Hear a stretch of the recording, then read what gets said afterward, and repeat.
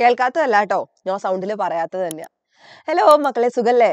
സൗണ്ടൊക്കെ അടിപൊളിയായിട്ട് നല്ല രസമല്ലേ കേൾക്കാൻ വേണ്ടിയിട്ട്? ഭയങ്കര എന്റർടൈനിങ് ആയിട്ട് തോന്നില്ലേ ഹലോ ഒക്കെ പറയുന്ന സമയത്തൊന്നും നോക്കണ്ട കാറ്റ് മാത്രമേ ഉള്ളൂ. മിസ് എന്താ ഇത്ര ഹാപ്പിയിൽ അല്ലേ വളരെ ഹാപ്പി ഉള്ള ഒരു ദിവസം തന്നെയാണ് നമ്മുടെ എക്സാം ഒക്കെ വരാറായിട്ടുണ്ട്.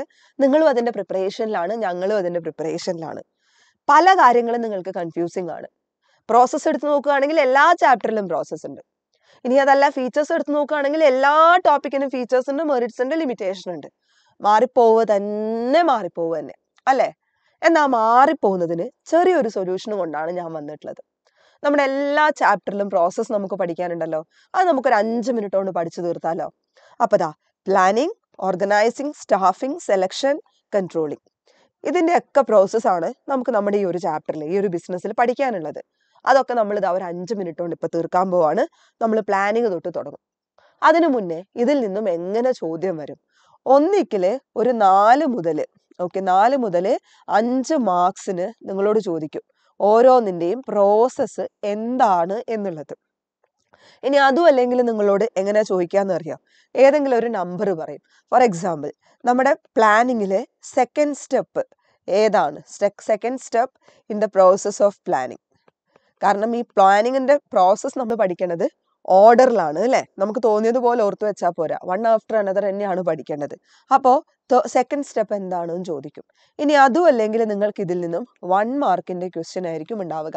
ഏതെങ്കിലും ഒരു തരത്തിലുള്ള ഒരു എം മാർക്കും ഉണ്ടാവും. ഇനി അതും അല്ലെങ്കിൽ നിങ്ങൾക്ക് എന്തുണ്ടാവും എന്നറിയോ നിങ്ങളോട് ഓർഡറിൽ എഴുതാൻ വേണ്ടിയിട്ട് പറയും. നിങ്ങൾക്ക് പ്രോസസ്സ് തരും. പക്ഷെ അത് ഓർഡറിലായിരിക്കില്ല നിങ്ങൾ അത് ഓർഡറിൽ എഴുതേണ്ടി വരും. അപ്പൊ ഇങ്ങനെയുള്ള ചോദ്യങ്ങളാണ് നിങ്ങൾക്ക് എന്തുണ്ടാവുക? നിങ്ങളുടെ എക്സാമിന് ഉണ്ടാവുക പ്രോസസ്സുകളിൽ നിന്ന്. ഈ വൺ മാർക്കിൽ തന്നെ രണ്ട് ടൈപ്പ് ഓഫ് വൺ മാർക്ക് വരാൻ സാധ്യതയുണ്ട്. ഒന്ന് നമ്മൾ എപ്പോഴും ചോദിക്കുന്നത് പോലെ മൾട്ടിപ്പിൾ ചോയ്സ് ക്വസ്റ്റ്യൻസ് എന്തെങ്കിലും ഒരു പെർട്ടിക്കുലർ ക്വസ്റ്റ്യൻ എടുത്ത് ചോദിക്കും. ഇനി അതും അല്ലെങ്കിൽ ഈ പ്രോസസ്സ് പല ഓർഡറിൽ അറേഞ്ച് ചെയ്ത് നിങ്ങൾക്ക് എ ബി സി ഡി ഇട്ട് തരും. അതിൽ റൈറ്റ് ഓർഡർ നിങ്ങൾ ചൂസ് ചെയ്യേണ്ടതായിട്ട് വരും. അപ്പൊ ഏത് ആൻസർ നിങ്ങൾ അറ്റൻഡ് ചെയ്യണമെങ്കിലും പ്രോസസ്സ് അറിഞ്ഞിരിക്കണ്ടേ? പ്ലാനിങ്ങിന്റെ പ്രോസസ്സ് എന്തൊക്കെയാ? ആദ്യം നമ്മൾ ഒബ്ജക്റ്റീവ്സ് സെറ്റ് ചെയ്യും. ഒബ്ജക്റ്റീവ്സ് എങ്ങനെ സെറ്റ് ചെയ്യണം നമ്മൾ പഠിച്ചിട്ടുണ്ട്. അത് ക്വാണ്ടിറ്റേറ്റീവ് നേച്ചറിലാണ് ഏറ്റവും നല്ലത്. അതുപോലെ തന്നെ കൃത്യമായിട്ടുള്ള പിരീഡ് നമ്മൾ അതിന് പറഞ്ഞിട്ടുണ്ടാവണം അല്ലെ? അങ്ങനെ രണ്ട് മൂന്ന് കണ്ടീഷൻസ് നമ്മൾ പഠിച്ചിട്ടുണ്ട്. ഒന്ന് ഓർത്ത് നോക്കുക. ഒബ്ജക്റ്റീവ്സ് സെറ്റ് ചെയ്ത് കഴിഞ്ഞാൽ നമ്മൾ പ്രിമൈസസ് ഉണ്ടാക്കും. എന്താ പ്രിമൈസസ് എന്ന് വെച്ച് കഴിഞ്ഞാൽ എസംഷൻസ് ആണ് അല്ലേ? എന്താണ്? എസംഷൻസ് എബൌട്ട് ഫ്യൂച്ചർ നമ്മൾ ചില അനുമാനങ്ങളൊക്കെ നടത്തും. ടാക്സ് കൂടുന്നില്ല മഴ കൂടില്ല ഇന്ന് മാനം നോക്കിയിട്ട് ഓക്കെ ഇന്ന് മഴ പെയ്യില്ല. അതുപോലെ നമ്മൾ അസംഷൻസ് വരുത്താറില്ലേ? മുള മുളക് ഉണക്കാനിടുന്ന സമയത്ത് അമ്മ പറയും മഴ പെയ്യാൻ സാധ്യതയില്ല മുളക് ഉണക്കാനിടാം ടാക്സ് കൂടാനുള്ള സാധ്യതയില്ല നമുക്ക് നമ്മുടെ ഒബ്ജക്റ്റീവിൽ റിലേ ചെയ്ത് നിൽക്കാം. അതുപോലെ ഈ ഒരു ഒബ്ജക്റ്റീവ് അച്ചീവ് ചെയ്യാൻ നമുക്ക് എന്തൊക്കെ കാര്യങ്ങളുണ്ട്. എന്തൊക്കെ ഓപ്ഷൻസ് ഉണ്ട്? ഓൾട്ടർനേറ്റീവ് കോഴ്സസ് എന്തൊക്കെയാണ് നമ്മൾ കണ്ടുപിടിക്കണം. എന്നിട്ട് ഓരോ ഓൾട്ടർനേറ്റീവ് കോഴ്സും നമ്മൾ ഇവാലുവേറ്റ് ചെയ്യണം. അതായത് അതിന്റെ പോസിറ്റീവ്സ് എന്തൊക്കെയാണ്? അതിന്റെ നെഗറ്റീവ്സ് എന്തൊക്കെയാണ്? നമ്മൾ കൃത്യമായിട്ട് അനലൈസ് ചെയ്യുക. ഈ അനലൈസ് ചെയ്ത് കഴിയുമ്പോൾ നമുക്ക് മനസ്സിലാവും. നമ്മളെ സംബന്ധിച്ച് ഇതിൽ ഏറ്റവും ബെസ്റ്റ് ഇന്നതാണ് എന്നുള്ളത്. അപ്പം നമ്മൾ എന്ത് ചെയ്യുക? ആ ഏറ്റവും ബെസ്റ്റ് ആയിട്ടുള്ള ഓൾട്ടർനേറ്റീവ് അങ്ങ് സെലക്ട് ചെയ്യുക. പ്ലാൻ ഇംപ്ലിമെന്റ് ചെയ്യുക. അത് പ്രോപ്പറായിട്ട് നടക്കുന്നുണ്ടോ എന്ന് ഉറപ്പ് വരുത്തുക. ഇത്രയും നമ്മൾ നമ്മുടെ steps in the process of planning ഉള്ളൂ. എന്തൊക്കെയുണ്ട്? Setting objectives developing premises identifying alternative course of action evaluating alternative course of action selecting in alternative implementing the plan and follow up അപ്പോൾ എത്ര പോയിന്റ്സ് ഉണ്ട്? മൂന്ന് മൂന്ന് ആറ് ഒന്ന് ഏഴ്. അപ്പോൾ ടോട്ടൽ നമുക്ക് ഏഴ് പോയിന്റ്സ് ആണ് പഠിക്കാൻ വേണ്ടിയിട്ടുള്ളത്. അത് ഈ ഒരു ഓർഡറിൽ തന്നെ നിങ്ങൾ പഠിച്ചിട്ടുണ്ടാവണം. റെഡിയാണ് ഇനി നമുക്ക് ഓർഗനൈസിങ്ങിലേക്ക് പോവാം. ദൈവഭാഗ്യം കൊണ്ട് നമുക്ക് നാലേ നാല് സ്റ്റെപ്പ് മാത്രമേ പഠിക്കാനുള്ളൂ. ഏതൊക്കെയാ നാല് സ്റ്റെപ്പ് ഓർഗനൈസിങ്ങിൽ നമ്മൾ എന്താ ചെയ്യുന്നത്? ആദ്യം നമുക്ക് എന്തൊക്കെ ജോലികൾ ഓർഗനൈസേഷനിൽ ചെയ്യാനുണ്ട് നമ്മൾ ഐഡന്റിഫൈ ചെയ്യും. എന്നിട്ട് അതിനെ നമ്മൾ ഡിവൈഡ് ചെയ്യും അല്ലെ? Identification and division of work ഓരോ സെക്ഷൻസ് ആയിട്ട് നമ്മൾ അതിനെ ഡിവൈഡ് ചെയ്ത് വെക്കും. എന്നിട്ട് നമ്മൾ എന്താക്കുന്ന അറിയോ ഡിപ്പാർട്ട്മെന്റലൈസേഷൻ ചെയ്യും. വിച്ച് മീൻസ് നമ്മൾ ഡിപ്പാർട്ട്മെന്റ്സ് ക്രിയേറ്റ് ചെയ്യും. ഗ്രൂപ്പിംഗ് ഓഫ് സിമിലർ വർക്കാണ് അല്ലെ? Grouping of similar work. ഒരേ സ്വഭാവത്തിലുള്ളതിനെ നമ്മൾ ഒരു കുടക്കീഴിൽ കൊണ്ടുവരും. ഫിനാൻസിങ് ഡിപ്പാർട്ട്മെന്റ് അതുപോലെ പർച്ചേസിംഗ് ഡിപ്പാർട്ട്മെന്റ് അല്ലേ? പർച്ചേസ് റിലേറ്റഡ് ആയിട്ട് എല്ലാ കാര്യങ്ങളും ആ ഡിപ്പാർട്ട്മെന്റിലും ഡിപ്പാർട്ട്മെന്റലൈസേഷൻ മാത്രം ചെയ്താൽ മതിയോ? പോരാ. നമ്മൾ ഇനി ചെയ്യേണ്ടത് എന്താണ്? ഓരോരാൾക്കും ഡ്യൂട്ടീസ് അസൈൻ ചെയ്ത് കൊടുക്കണം. ആരെന്തൊക്കെ ചെയ്യണം? അല്ലെ? ആരെങ്ങനെ വർക്ക് ചെയ്യണം? അങ്ങനെ ഡ്യൂട്ടീസ് അസൈൻ ചെയ്ത് കൊടുക്കണം. അതുകൂടാതെ ആരാരോട് റിപ്പോർട്ട് ചെയ്യണം? ആരുടെ ബോസ് ആണ് ആര്? ആരുടെ അണ്ടറിൽ എത്ര സുപ്പീരിയേഴ്സ് ഉണ്ട്? എത്ര സബോർഡി അണ്ടറിലല്ല എത്ര സുപ്പീരിയേഴ്സ് ഉണ്ട്? എത്ര സബോർഡിനേറ്റ്സ് ഉണ്ട്? അല്ലേ? അപ്പം നമ്മുടെ ആ സ്പാൻ ഓഫ് കൺട്രോൾ ഒക്കെ നമ്മൾ അങ്ങ് ഡിസൈഡ് ചെയ്യണം. അതിനെയാണ് എസ്റ്റാബ്ലിഷിംഗ് റിപ്പോർട്ടിംഗ് റിലേഷൻഷിപ്പ് എന്ന് നമ്മൾ പറയുന്നത്. ആദ്യം നമ്മൾ identification and division of work departmentalisation assignment of duties then establishing reporting relationship അപ്പോൾ identification and division of work departmentalisation assignment of duties establishing reporting relationship വെറും നാലേ നാല് പോയിന്റ്സ് അതേ ഓർഡറിൽ തന്നെ പഠിക്കണം. ഇനി സ്റ്റാഫിങ്ങിന്റെ കേസിലേക്ക് വരാം. സ്റ്റാഫിങ്ങിൽ നമ്മൾ രണ്ട് പ്രോസസ്സ് പഠിക്കും. ഒന്ന് സ്റ്റാഫിങ്ങിന്റെ പ്രോസസ്സ് എന്താ സ്റ്റാഫിങ്ങിന്റെ പ്രോസസ്സ് ആദ്യം എസ്റ്റിമേറ്റിംഗ് മാൻ പവർ റിക്വയർമെന്റ്സ് നമ്മുടെ ഓർഗനൈസേഷനിൽ എത്ര ആൾക്കാർ ജോലിക്ക് വേണം എന്ന് നമ്മൾ തീരുമാനിക്കണം. കണ്ടുപിടിക്കണം. അത് കണ്ടുപിടിച്ചതിന് ശേഷം നമ്മൾ റിക്രൂട്ട്മെന്റ് ചെയ്യണം. എന്താ റിക്രൂട്ട്മെന്റ് നാട് മുഴുവൻ നമ്മൾ അറിയിക്കുകയാണ്. നമ്മുടെ ഓർഗനൈസേഷനിൽ വേക്കൻസി ഉണ്ട്. താല്പര്യമുള്ളവർ വന്ന് അപ്ലൈ ചെയ്തോളുക. അവരെ നമ്മൾ പ്രേരിപ്പിക്കും. അപ്ലൈ ചെയ്യാൻ വേണ്ടിയിട്ട് അല്ലേ? വൺസ് അവർ അപ്ലൈ ചെയ്ത് കഴിഞ്ഞാൽ നമ്മൾ അവരെ സെലക്ട് ചെയ്യും. സെലക്ട് ചെയ്യുന്നതിന് ഒരുപാട് സ്റ്റെപ്പുകളും പ്രൊസീജിയേഴ്സും ഉണ്ട്. അത് നമ്മൾ പഠിക്കും.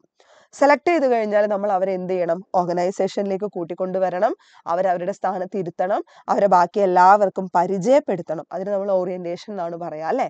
അത് കഴിഞ്ഞാൽ അവർക്ക് ട്രെയിനിങ്ങും ഡെവലപ്മെന്റ് ഒക്കെ മാക്സിമം കൊടുക്കുക. അവരുടെ സ്കില്ല് ഡെവലപ്പ് ചെയ്യാൻ വേണ്ടിയിട്ട്.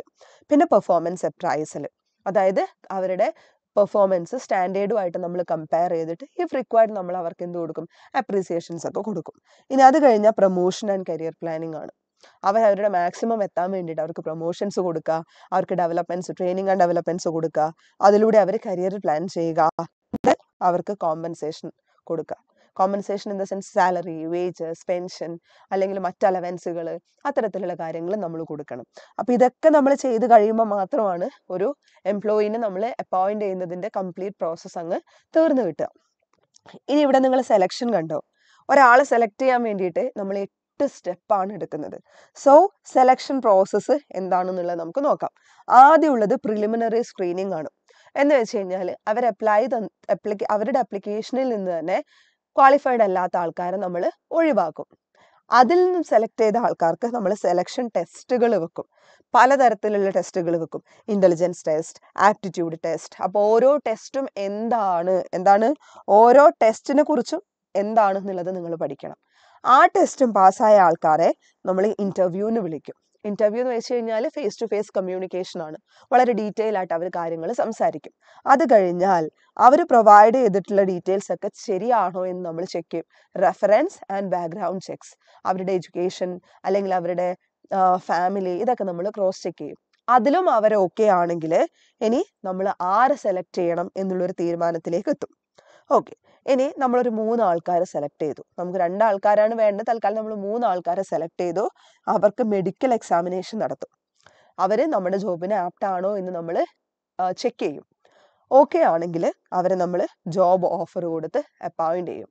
ആ ജോബ് ഓഫറിൽ എന്തൊക്കെ ഡീറ്റെയിൽസ് ഉണ്ടാവും എന്നുള്ളതൊക്കെ നമ്മൾ പഠിച്ചിട്ടുണ്ട്. ആ ഡീറ്റെയിൽസ് ഒക്കെ നിങ്ങൾ ജസ്റ്റ് ഒന്ന് വായിച്ചു നോക്കണം കേട്ടോ. അത് കഴിഞ്ഞ് അവരെ കൊണ്ട് എംപ്ലോയ്മെന്റ് കോൺട്രാക്ട് നമ്മൾ സൈൻ ചെയ്യിപ്പിക്കും. അപ്പോൾ ഇത്രയും പ്രോസസ്സാണ് ഒരാളെ സെലക്ട് ചെയ്യുന്നതിലുള്ളത്. അപ്പോൾ ഈ സെലക്ഷൻ പ്രോസസ്സും സ്റ്റാഫിങ്ങിന്റെ പ്രോസസ്സും ഇനി മാറിപ്പോവില്ലല്ലോ? മാറിപ്പോവാൻ വേണ്ടിയിട്ട് പാടില്ല. ഇനിയുള്ളത് നമുക്ക് എന്താ കൺട്രോളിങ്ങിന്റെ പ്രോസസ്സാണ് കൺട്രോളിങ്ങിന്റെ പ്രോസസ്സ് നമ്മൾ നോക്കുമ്പോൾ വെറും അഞ്ച് കാര്യങ്ങളേ ഉള്ളൂ. ആൻഡ് ഇത് പ്ലാനിങ്ങിന്റെ പ്രോസസ്സുമായിട്ട് ചെറിയൊരു റിലേഷൻ ഉണ്ട്. കൺട്രോളിങ് ഓൾറെഡി പ്ലാനിങ്ങുമായിട്ട് റിലേറ്റഡ് ആണ് നമുക്കറിയാം അല്ലേ? കൺട്രോളിങ്ങിൽ നമ്മൾ ആദ്യം ചെയ്യേണ്ടത് എന്താണെന്നറിയോ സ്റ്റാൻഡേർഡ് സെറ്റ് ചെയ്യണം. ഇത് പ്ലാനിങ്ങിലാണ് ചെയ്യുന്നത് അല്ലേ പ്ലാനിങ്ങിൽ ഓൾറെഡി സ്റ്റാൻഡേർഡ് സെറ്റ് ചെയ്തിട്ടുണ്ടാവും ഓക്കെ നമ്മൾ സെറ്റ് ചെയ്ത സ്റ്റാൻഡേർഡ് ആയിരം യൂണിറ്റ് ഉണ്ടാക്കുക എന്നുള്ളതായിരുന്നു. ആയിരം യൂണിറ്റ് പ്രൊഡ്യൂസ് ചെയ്യുക എന്നുള്ളത്. ഇപ്പം നമ്മൾ എത്ര മെഷർ എത്ര പെർഫോം എത്ര പെർഫോം ചെയ്തു നമ്മൾ മെഷർ ചെയ്യണം. അല്ലെ മെഷർമെന്റ് ഓഫ് ആക്ച്വൽ പെർഫോമൻസ് നമ്മൾ കണ്ടു തൊള്ളായിരത്തി തൊണ്ണൂറ്റി ഒൻപത് യൂണിറ്റ് നമ്മൾ പ്രൊഡ്യൂസ് ചെയ്തിട്ടുണ്ട്.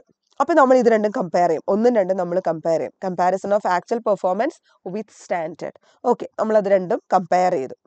കമ്പയർ ചെയ്യുമ്പോൾ നമുക്ക് മനസ്സിലായി അവിടെ വ്യത്യാസമുണ്ട് വ്യതിയാനമുണ്ട് അല്ലേ? ഡീവിയേഷൻ നമ്മൾ അനലൈസ് ചെയ്യണം. ഓക്കെ വൺ യൂണിറ്റ് ആണ് ഇവിടെ വന്നിട്ടുള്ള ഡീവിയേഷൻ എന്തുകൊണ്ട് നമ്മൾ ആ ഡീവിയേഷൻ വന്നു എന്നുകൂടി നമ്മൾ അനലൈസ് ചെയ്യും. എന്നിട്ട് ഇനി ആ ഡീവിയേഷൻ വരാതിരിക്കാനുള്ള ആക്ഷൻ നമ്മൾ എടുക്കും. ടേക്കിംഗ് കറക്റ്റീവ് ആക്ഷൻ അപ്പോൾ എന്തൊക്കെയുണ്ട്? Setting performance of standard measurement of actual performance comparison with actual പെർഫോ comparison of actual performance with standard analysing deviation taking corrective action അപ്പോൾ എസ് എം ക്യാറ്റ് എന്ന് നമുക്ക് പറയാം അല്ലേ? അപ്പോൾ ഇവിടെ നമ്മൾ അഞ്ച് സ്റ്റേജസ് ആണ് കണ്ടത്. ഇപ്പം നിങ്ങളുടെ പ്രോസസ്സ് ആ ഒരു കൺഫ്യൂഷനൊക്കെ മാറിയല്ലോ? അപ്പം നന്നായിട്ട് ഇരുന്ന് പ്രിപ്പയർ ചെയ്തോളാം. പ്രോസസ്സുകളൊന്നും ഇനി തമ്മിൽ മാറിപ്പോവില്ല. അപ്പോൾ ഈ ഷോർട്ട് ആൻസർ ഈ ഷോർട്ട് ആയിട്ടുള്ള കാര്യങ്ങളുണ്ടല്ലോ. അപ്പോൾ ഞാൻ ഇതുപോലെ എഴുതിയതൊക്കെ അത് വേണമെങ്കിൽ നിങ്ങൾക്ക് ഈ പി പി ടിയുടെ ഫ്രണ്ടിൽ അങ്ങ് എഴുതി വെക്കാം. അപ്പോൾ നന്നായിട്ട് പ്രിപ്പയർ ചെയ്യുക. All the best